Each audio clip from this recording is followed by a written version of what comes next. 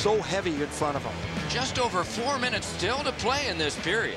Five goals in this game. It's a 3-2 contest, and it's tight. Save! Angled to step up.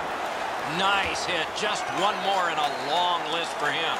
Gets in, looks over his options here. Chip to Nash. Grabbed off